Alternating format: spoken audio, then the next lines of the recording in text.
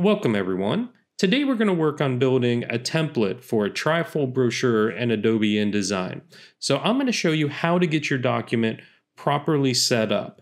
And what I mean by properly set up, a trifold brochure does not have just six equal pages. We actually have to make one of the panels slightly shorter to ensure it fits inside of your trifold brochure. And our document here where I'm showing it, you'll notice our back left panel is slightly smaller. It's 3.625 versus the 3.6875 inches for the rest of the document.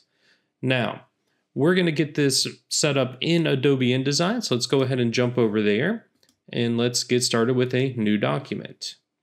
So first things first, I've already done it once, but we need to change our units. Our units, we need to set them to inches.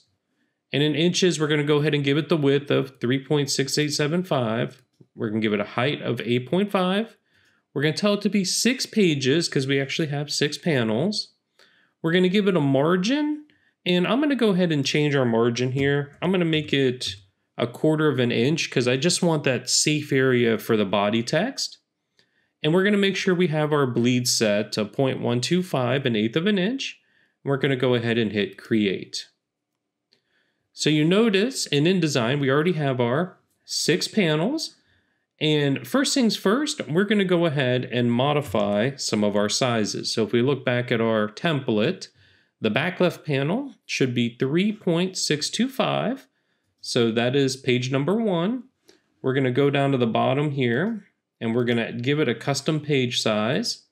And we're going to change this to 3.625. We're also going to do this on page one, two, three, four, five. Oh, page six, we're going to do the same thing. So go ahead down to page six, edit that page size, give it a custom one of 3.625. And there you go. So now we have all of our panels set up, but now we need to set up our spreads so they sit the way we expect. So first things first, we need to lock the position of page one.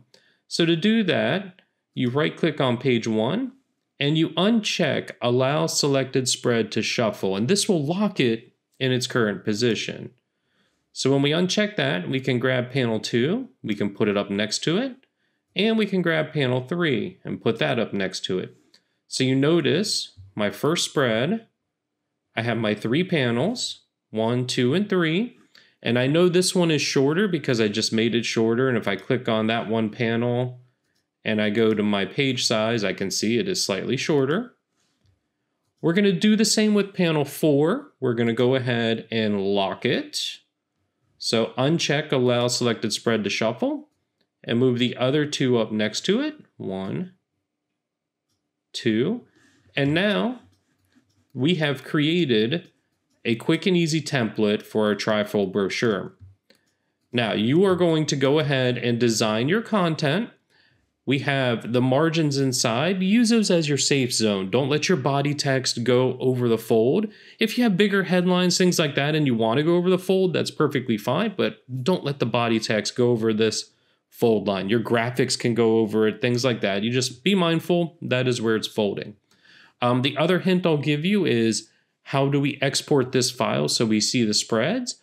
Well, you're going to go File, Export, and you're going to go ahead, give it the names and everything. You're going to hit save.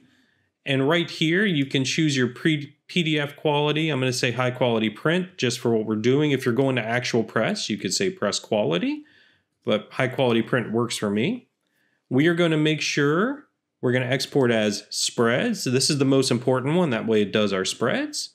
And for me, I also want all the printer marks and I also want you to use document bleed settings because I want to make sure that you understand how to use bleeds.